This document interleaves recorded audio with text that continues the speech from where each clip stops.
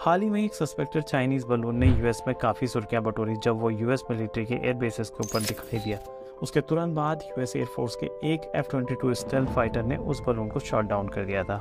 अब US military ने एक हाई रेजोल्यूशन फ़ोटो रिलीज़ की है, जिसे कि एक U two S dragon lady spy plane से लिया गया है। इस फ़ोटो में हम साफ़ एक यूएस एयरफोर्स के पायलट और बलून दोनों को एक ही फ्रेम में देख सकते हैं। ये फ़ोटो तीन फरवरी की है और माना जाता है कि दो ड्रैगन लेडीज़ पाइपलाइन इस बलून के काफ़ी पास गए थे इसे मॉनिटर करने के लिए।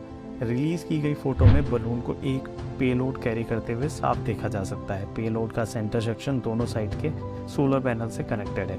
फ़ोटो को अगर जूम करें तो बीच में एक वाइट कलर की डिश और एंटीना साफ़ देखा जा सकता है। यूएस ऑफिशियल ऑलरेडी बता चुके हैं कि इस बलून में काफ़ी सारे एंटीना थे और ये सिग्नल इंटेलिजेंस गैदर करने के लिए कैपेबल थे।